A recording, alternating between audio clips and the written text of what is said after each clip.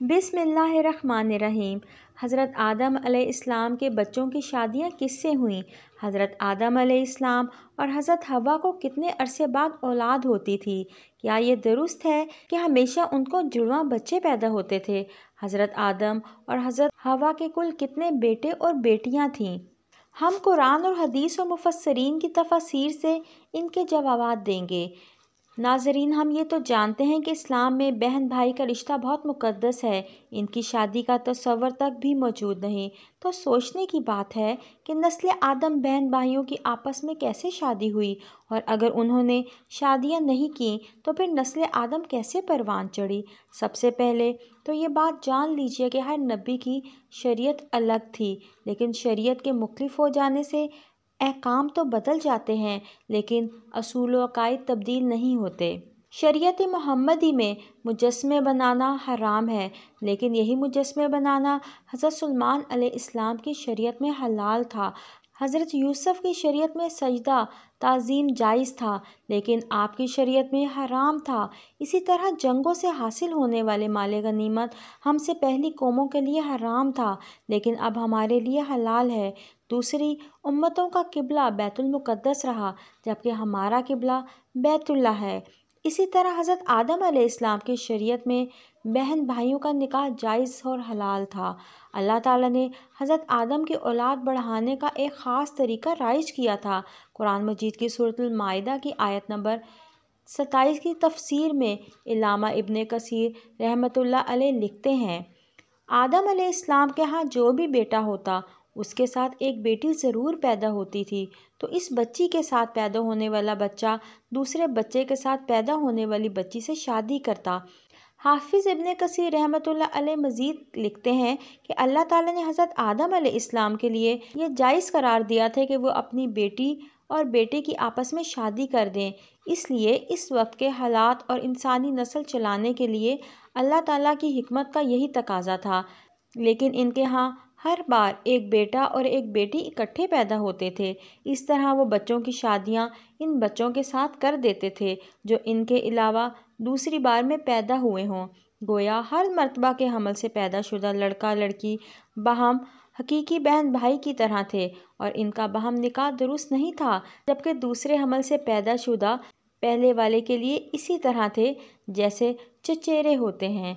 यही वजह है हबील और हाबील से इख्तलाफ किया। काबील के साथ जो लड़की पैदा हुई, वो इंतहाई खूबसूरत थी, जबकि हज़रत हाबील के साथ जो लड़की पैदा हुई, वो इतनी खूबसूरत ना थी। हज़रत आदम इस्लाम की शरीयत के मुताबिक, जब ये जवान हुए तो काबील की शादी हाबील की बहन से होनी थी और हज़रत हाबील की शादी काबील की बहन से होनी थी।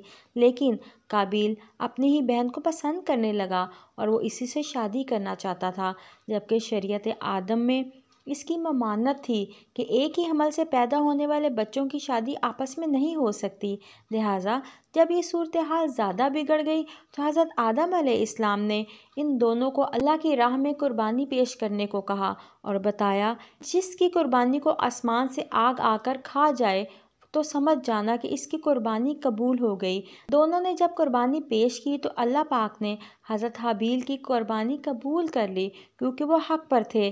जबकि काबील ने यह देखा तो हसद में आकर हज़रत हाबील को शहीद कर दिया।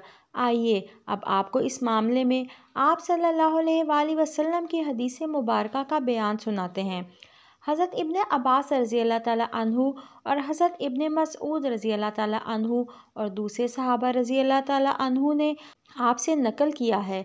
आदम इस्लाम के यहाँ जो भी बेटा होता तो इसके साथ बेटी ज़रूर पैदा होती थी। तो इस बच्ची के साथ पैदा होने वाला बच्चा दूसरे बच्चे के साथ पैदा होने वाली बच्ची से शादी करता था।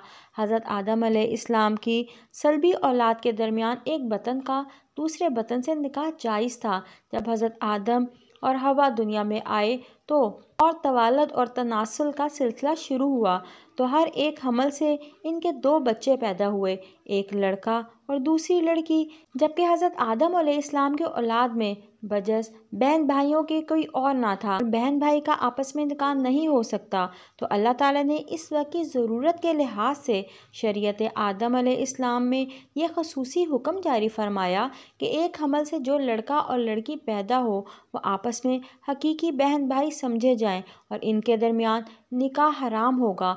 लेकिन दूसरे हमल से पैदा होने वाले लड़के के लिए पहले हमल से पैदा होने वाली लड़की हकीकी बहन के हुक्म में नहीं होगी, जबकि इसके दरमियान रिश्ता मनाकहत जायज़ होगा। हज़रत आदम इस्लाम की शरीयत में ज़रूरत तवालद और तनासिल की वजह से यह जायज़ था।